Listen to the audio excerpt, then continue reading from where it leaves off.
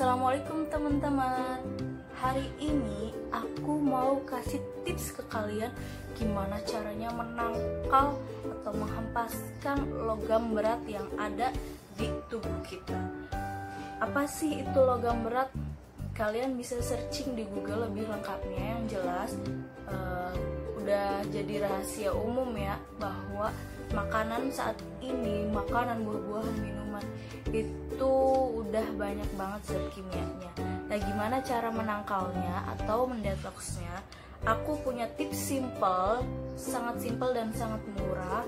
Apa itu? Tara singkong, tape singkong. Ini singkong tapi yang udah kita buat jadi tape bukan kita sih ya mamanya yang buat jadi tape aku ini beli setengah kilo harganya cuman 5000 5000 rupiah aja. Ini nggak setengah kilo ya segini. Aku udah tadi sempat cemilin terus aku buat jus tape. Aku buat dua gelas. Ini. Nah ini itu aku buat dengan tambahan madu dan juga chia seed biji chia seed yang tadi aku kasih lihat ini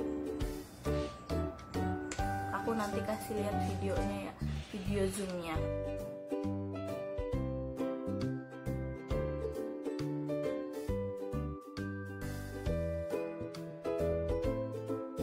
Nah uh, kenapa sih mesti tape? Sebenarnya masih banyak banyak banget alternatif lain. Cuman ini aku mau ngasih tahu contoh simpelnya buah tape. Selain bisa menangkal atau mendetoks logam berat yang ada di tubuh kita juga dia itu bisa mencegah anemia bisa juga e, memperlancar memperlancar pencernaan dan katanya di beberapa daerah itu diyakini bisa juga untuk terapi seks. Jadi bagi yang sudah berumah tangga yang sudah berumah tangga bisa terapi seks menggunakan buah tape ini.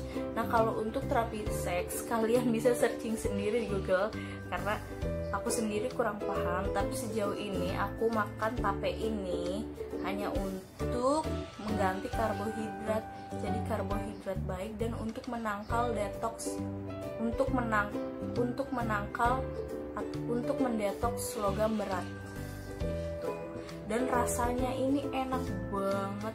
Menurut aku ya nggak tahu sih kalian suka apa enggak mungkin ada yang nggak suka kalau makannya hanya tapenya saja. Nah coba kalian buat jusnya seperti aku ini. Ini kayak yogurt ya karena aku memang takarannya itu hanya satu banding satu. Jadi tapenya misalnya tapenya itu tiga. Ya enggak sih takarannya itu satu banding satu. Jadi aku tuh pakainya takarannya itu gelas ini. Gelas ini satu airnya juga eh tapenya itu satu gelas dan airnya itu juga satu gelas. Kayak gitu takarannya itu intinya satu banding satu. Coba kita rasain ya rasanya kayak gimana? Hmm. Uh enak banget. Begitu ada chia seed jadi makin kayak ada teksturnya gitu. Ini beneran kayak yogurt. Bener kayak yogurt. Cuman yogurt versi tape. Oh my god. Ya.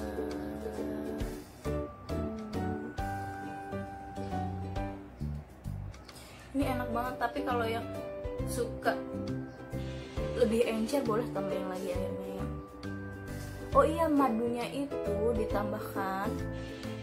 Saat akhir-akhir aja ya diaduk aja. Kalau aku sih diaduk pakai sendok. Jadi jangan pas di jusnya jangan. Siasitnya juga sama ditaburin saat udah di jus si tapenya. Jadi oh my god. Jadi takarannya terserah kalian pengennya berapa. Kalau aku sendiri satu banding satu. Jadi tapenya itu tadi aku taruh dulu di gelas. Satu cukup satu gelas terus airnya juga satu gelas. Dan aku bikinnya dua. Dua cup. Dua gelas. Sumpah ini enak banget. Aku sih dari dulu emang pe, bukan pecinta ya. Maksudnya aku doyan segala jenis. Tape mau itu tape singkong mau itu tape ketan itu enak. Nggak tahu kenapa. Emang enak sih. Jadi bagi kalian yang pengen eh, nggak uh, gampang capek nggak gampang lemes. Kalian bisa gunain tips dari aku ini. Kalau seandainya ada mamang-mamang jualan tape gitu kan kasihan juga kadang tuh ya. Beli aja udah beli satu kilo ke setengah kilo ke. Kalau aku ini belinya setengah kilo doang. Dan udah menyangin banget ini jadi dua cup dan masih bisa dicemilin juga kalaupun masih bisa di jus juga bisa tuh dapat tuh satu gelas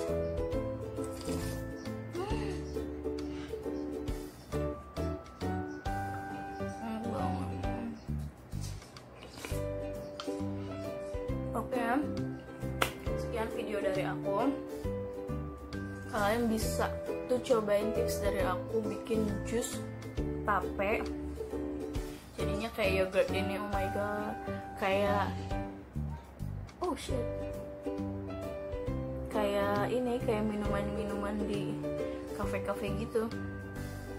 Tapi ini versi murahnya, cuman 5000 doang. Kita udah dapet. Hanya dengan 5000 rupiah saja kita dapat produk ciptaan Allah yang bisa mendetok logam berat yang ada di tubuh kita dan masih banyak banget manfaat dari tape jadi nggak usah ragu ayo kita coba bikin jus tape. Pakai madu lebih endolita lebih enak. Pakai madu pakai kurma juga bisa. Terus kalau seandainya punya biji chia seed boleh taburin. Kalau yang nggak ada ya udah nggak apa-apa. Intinya tapenya dulu yang utama. Jadi jangan ragu. Yuk kita coba bikin jus tape. Oke teman-teman sekian video dari aku. Jangan lupa untuk subscribe like and comment di bawah. Dan bagiin ke teman-teman kalian kalau kalian ngerasa ini video bermanfaat. Oke, okay, see you.